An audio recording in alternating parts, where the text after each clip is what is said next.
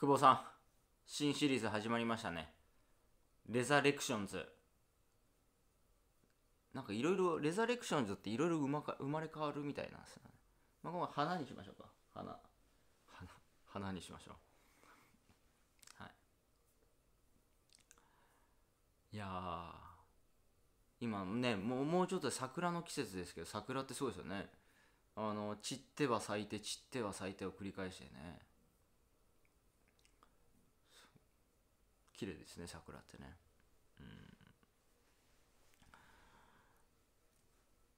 うん。いやー僕の毛根は生まれ変わらないですけどね。まあ金かければいけるかな。いやこれレザレクションズ生まれ変わり。生まれ変わりましょう。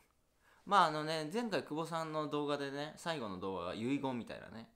まあ死んでないですから。死んでないしあの別に最後にこのあのシリーズの久保さんとのやり取りは多分ね本当に死ぬまで続くと思うんで。久保さんが死んだら買いますよ。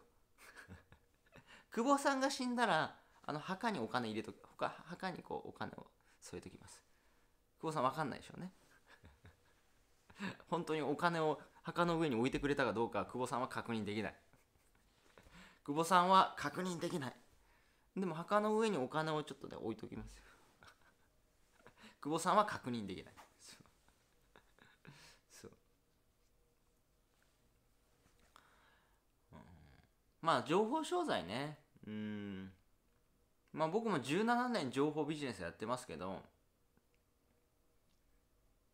まあ正直僕はこれからまあもうある一定はなくならないですよある一定はなくならないんですけど。今もう時代が変わったな生まれ変わったなとは思いますけどね。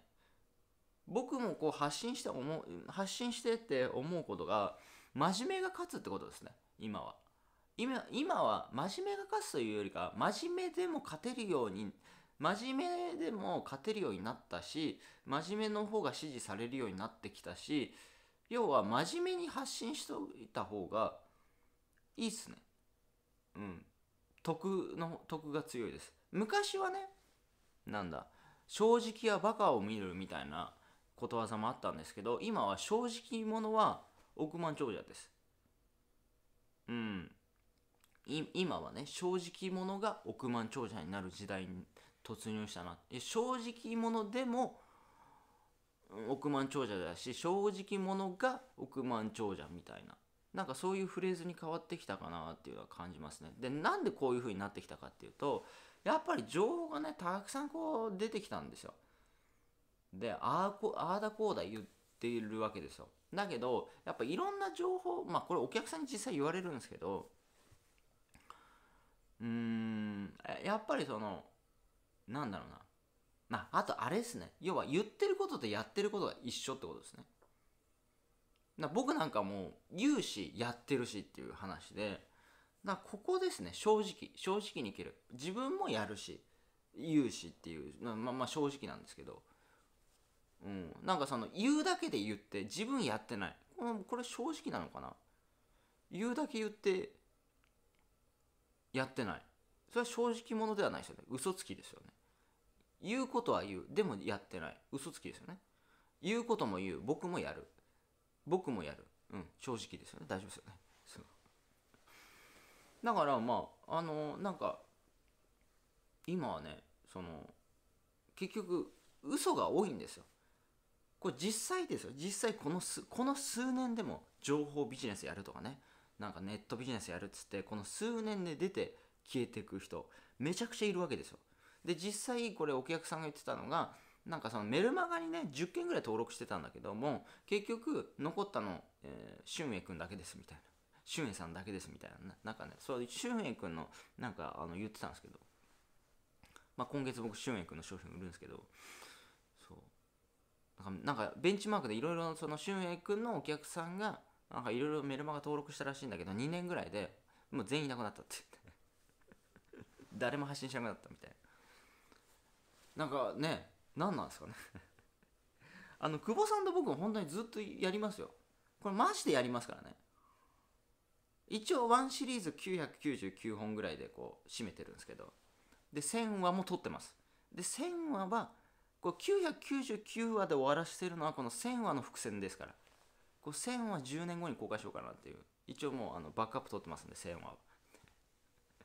億万長者シリーズで一体何があったのかと事件があったんですよ。事件があったんですよ。事件があったんですよ。なんで億万長者シリーズはこの9991000いかないのかなっていうね。これをね伏線を投げてるわけです。伏線を。伏線を実はね中長期で投げるっていう。投げ続けるって。これなんで999なのかな。あれヤマトの39なのかなと。ね？銀河鉄道39なのかな。違うんです。違うんです。銀河鉄道39じゃないんです。線はあるんです。その線は何やねんっていう伏線なんです。先に言っときますけど。でそれを10年後ちゃんとね日付もとその動画に関しては何日に撮りましたっていう日付ももう収録してるんですよ。そう。事件があったんですよ。そう。そう10年後ねまあそのそのねまあいろいろ言われたわけなんですけどまあクレームみたいなこと言われたわけですよ。でも10年後そのクレームした人がまあ見てるとは思えないですけどね。うん。多分見てないでしょうね。うん。まあとりあえずやりますんで僕と久保さんは。あなたがやらなくても僕と久保さんはやりますし、えー、あなたがやらなくても世の中はどんどん変化していくしあなたがやらなくてもね世の中の商品どんどん価格上がっていくしあなたがやらなくてもあなたがやらなかったら給料もらえないだろうし 給料安いしね。まあ結局やらなかったらマジで終わりですよ。うん。終わり。うん。そう。毎回桜とかはね毎回ねちゃんとやってるじゃないですか。毎回桜ちゃんと咲いてますよ。まあ、ちょっときあの寒いとねちょっと開花が遅れたりしますけどこう毎年ちゃんとやることやってますからね。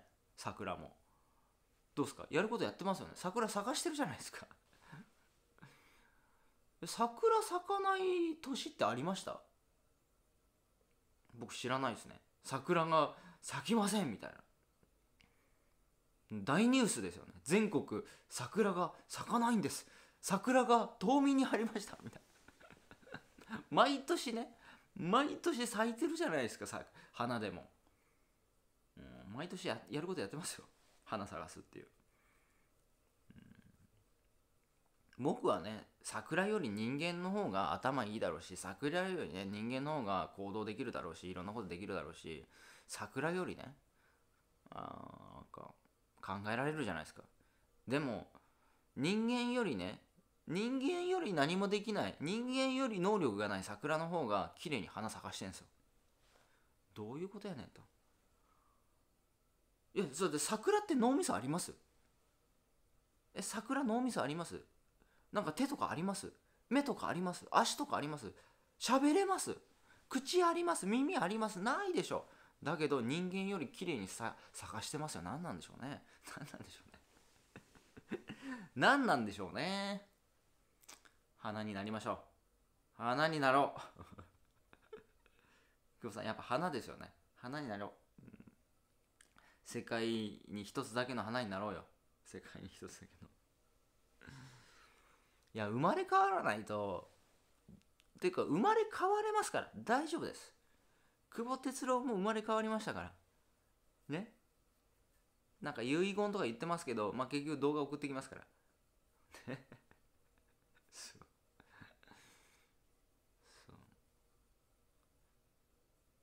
生まれ変わりましょう。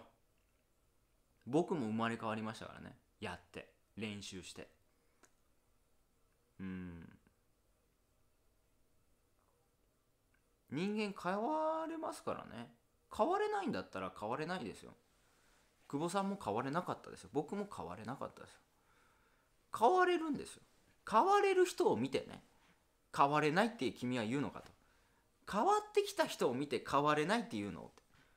もう無理やん途中。だってね成功してる人もね変わったんですよ。孫正義さんもねちょっとあの番地がないとこに生まれたんですよ。番地がないしいじめられてたんですよ。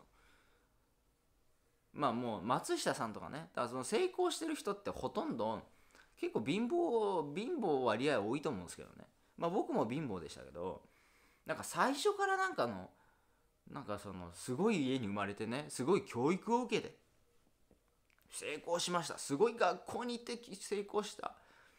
そうじゃないと成功できない。じゃあ東大に入った人しか成功してないんですか？お聞きしたいんですけど。東京大学に入った人しか成功できしてないんですか？お聞きしたい。お聞きしたい。東京大学名門ですよね。東大に入った人しか成功してないんですか？中卒は社長になれないんですか？中卒は社長になれないんですか？中卒で社長になってる人めちゃめちゃまあめちゃでまあまあいますよ。まあまあ中卒でも金持ちの人いますよ。えそれ変えられるわけですよ。別に。でもねそういうか変えてきた人を見てね自分が変わらないと思ってるんだったらそれは変わらないでしょうね。一生。それは一生申し訳ない。無理。それは無理よ。うん。でも僕は久保さんもそうですし僕もそうですけど変えてきた人間があなたに伝えられることがあるとするならば変えられるです。やればね。本当に。でもいまだにやってないんでしょ？それは無理ですよ。今日やれって話ですね。いってらっしゃい。